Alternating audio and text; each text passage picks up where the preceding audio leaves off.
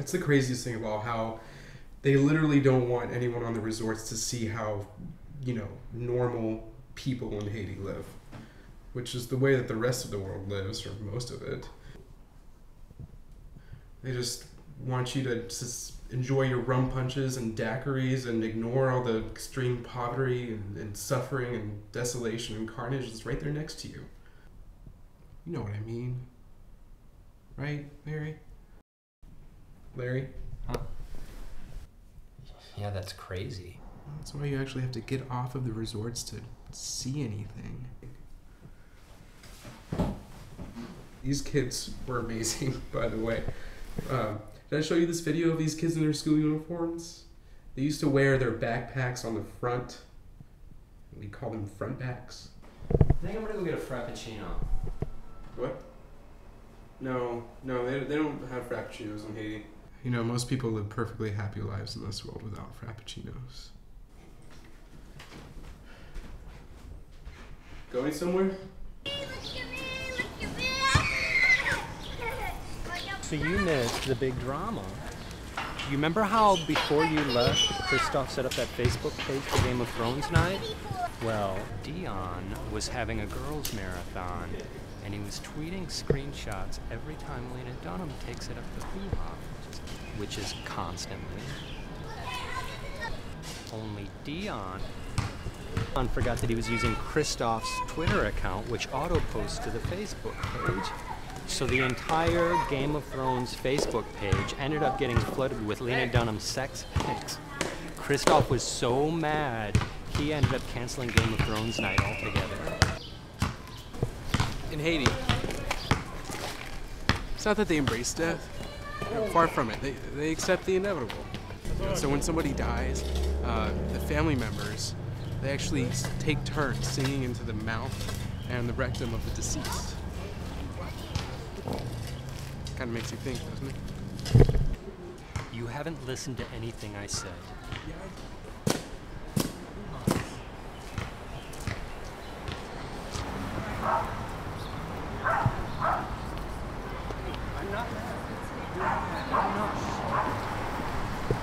Not mad. In Haiti, when one friend is mad at another, they, they form what's called a friendship circle. So- it's Look, when- Tobias, I get it. You spent a couple of weeks in Haiti, and now suddenly you see everything more deeply than the rest of us do. I'll tell you what, I'm gonna go to Starbucks and see if they can make a special drink just for honorary Haitians. Maybe they can pollute some water for you. I'm sorry. That came out harsher than I thought it To tie a, ceremonial scarf around each other's wrists. Tobias, for 30 minutes, please, can you stop talking about Port-au-Prince? Please. I think so. Yes. Good. It's pr- Prince. What? You said you said Prince, but it's pronounced Prince. In, in Haiti, Goodbye, Tobias. They say it up in the throat like the French do. With the. Haiti used to be a French slave colony. Hey man, could you spare some change? Yeah. Here. Just. I haven't eaten in a while. Thanks, man. Uh, you got any more? I'd like to get a sandwich or something.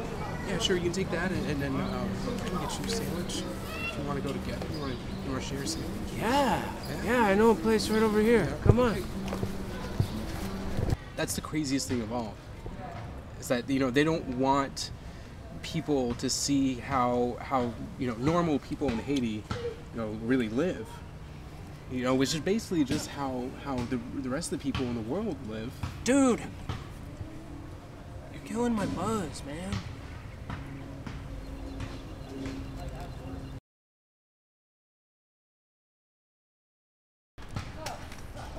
I'm good. I can't eat cheese.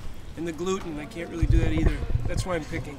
oh But you can have I can the take the gluten Yeah, why don't you? yeah But I'll take this lettuce. all right well, here can you just hold this